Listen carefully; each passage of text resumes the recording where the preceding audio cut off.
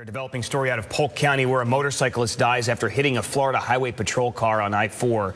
FHP says a trooper was helping a road crew close a lane for repairs when he drove into the path of the motorcyclist who fell off of his Harley Davidson and was then hit by a semi-tractor trailer. The motorcyclist died at the scene and minutes ago the FHP told us the investigation into this crash could last three or more months.